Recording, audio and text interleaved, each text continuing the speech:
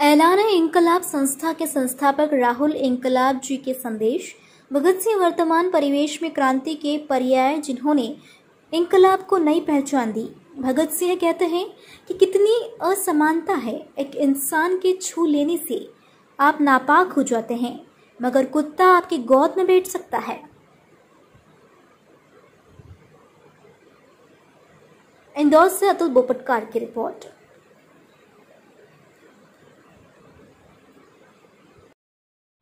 कुर्रे खा के गर्दिश में तपिस से मेरी मजनू के ज़िंदा में आज़ाद रहा।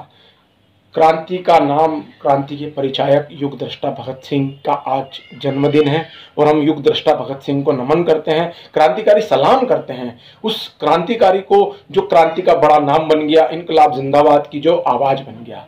भगत सिंह, सुखदेव राजगुरु, चंद्रशेखर आज़ाद, असफाकुल्ला खान राम प्रसाद बिस्मिल लाखों क्रांतिकारियों ने बलिदान दिया और आज उसी में से एक क्रांतिकारी का जन्मदिन है। 28 सितंबर 1907 को लायलपुर में भगत सिंह का जन्म हुआ।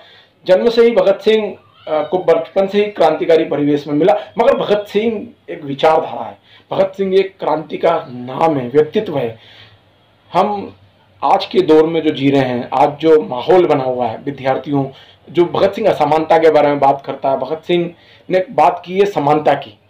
हम असमानता के अंदर हम इंसान से इतनी नफरत करते हैं कि इंसान यदि छू ले तो हम अछूत हो जाते हैं।